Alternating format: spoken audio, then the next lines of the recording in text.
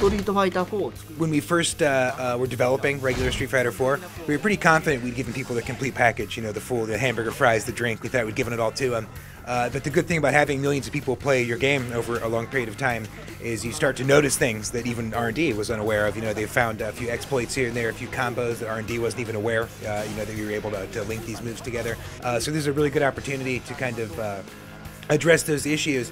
But at the same time, it is super Street Fighter 4, so we're not dealing with a minor update. So rather than uh, just minor balance adjustments, we're also going to add plenty of uh, new moves and new ways to play, and, uh, and uh, really kind of change up the uh, the way the game feels to a degree. So it really feels like you're playing a new version of Street Fighter 4.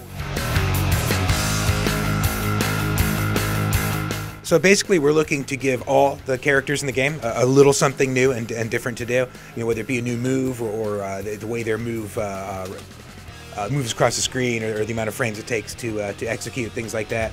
Uh, the problem is once you do something like that, once you make some small adjustment, you have to look at the entire game again uh, from a balance point of view and make sure that everything's kosher. Speaking a bit about some of the returning characters, as you now know, you know T-Hawk and Dee Jay will, will be making their return. Um, these are characters that we had originally considered putting in regular Street Fighter 4, uh, but you know things got down to the wire and they were just uh, kind of difficult to get in there and balance with all the other characters. Now, in addition to that, there's going to be a lot of other returning characters. So you know the whole theme of Super Street Fighter 4 is uh, responding to the wishes of the fans and then responding to their requests. So you will definitely see a lot more returning characters this time out.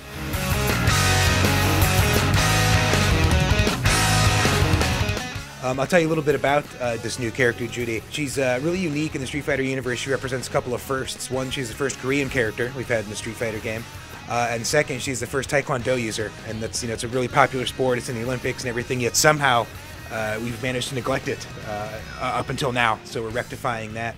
Um, another interesting thing about her you'll notice is that her left eye glows when she does certain moves. There's a good reason for that. It's, it's an artificial eye that was given to her by SIN, the, the weapons manufacturer that uh, is headed up by, by Seth, you know, the last boss of Street Fighter 4.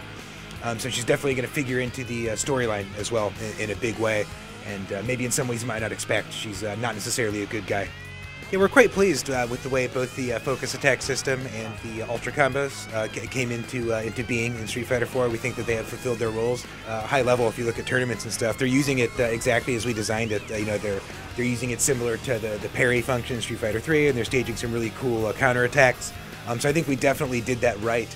the ultra combos is kind of interesting because we had intended it to be used specifically to finish a match when someone's in trouble and make like a big comeback after they've taken a lot of damage. What we find is that people are using it for that, but they're also finding other ways to, uh, to, you know, to link it into combos or to deliberately take some damage just to have a flashy uh, ending to the fight doing some other stuff we hadn't necessarily foreseen. So we, we do think that was a great addition as well. Um, as for changes in this version, you know, we'll be making some tweaks here and there. We feel that the systems themselves are strong, so we're not going to necessarily change them from the ground up. Um, but we're definitely thinking of some very specific uh, ways to, to alter and expand upon these systems. So as you remember, uh, with Street Fighter 4, the whole reason behind the, the sumi-e art was just uh, a way to get across the idea of, of moving paintings, which was kind of the main visual concept of, of Street Fighter 4. So this is just kind of another take on that. We're still looking at the, at, at the moving art sort of thing, but this time we've gone with a, a kind of a sketchy look. Uh, and there's a reason behind that, and that is if you remember uh, Super Street Fighter 2, uh, some of the old artwork uh, used to promote that, some of the old posters and stuff. There's an image of Akuma, and uh, you know, there's some of the other new characters, and they were all done with a very fine uh, line and very kind of sketchy sort of look. Um, so we're kind of trying to deliberately call that to mind. You know, this is that was Super Street Fighter 2. This is Super Street Fighter 4. There's the the, the commonality of the Super thing. Um, as far as inserting it into the actual game itself, the problem with this sort of art style is it's so finely detailed that it's actually hard to make out on the screen. So you probably won't actually see it in the game itself as some sort of filter or something. That we've tried some experiments, uh, but there are other places we can put it, uh, you know, in the interface and things like that. So you will probably see a similar look like that popping up somewhere in the game, but don't expect to necessarily see the uh, graphics in the entire game based upon that.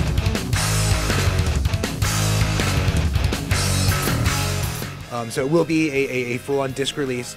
I do want to let you know that the price of said disc will be appropriate to the content. It won't be a full price game.